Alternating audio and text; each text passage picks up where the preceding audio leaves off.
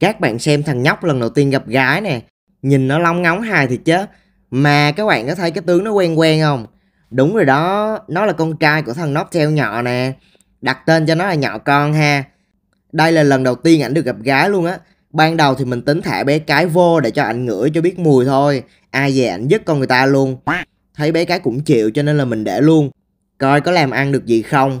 Thì câu trả lời là không nha. Nó cưỡi lên lưng con người ta luôn rồi. Mình phải lôi nó xuống xong rồi đưa nó vô đúng thế. Riêng về cái khoản này là dởm hơn thằng nhỏ cha rồi nha. Ok, giờ thì kệ tụi nó thôi. Vì bọn nóc theo này phối gần cả tiếng lận. Bởi vậy mới nói, ối ông ở đây không bằng con thằng làng nha.